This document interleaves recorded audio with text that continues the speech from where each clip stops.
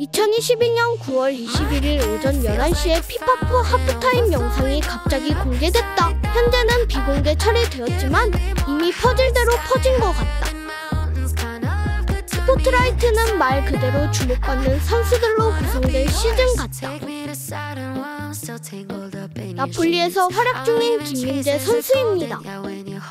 토트넘 미페를 달고 나온 페리시치입니다. 레알 미패를 달고 나온 리디거입니다.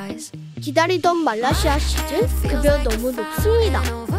양발 히샤를리송입니다. 이 외에도 다양한 선수들이 출시한다고 합니다.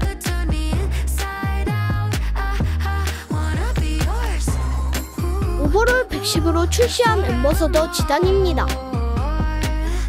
overall 110으로 출시한 푸스카스입니다.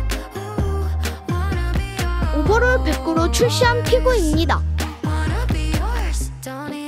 overall 109 반지의 제왕 라울입니다. 숨어있는 꿀잼 선수 우고 산체스입니다.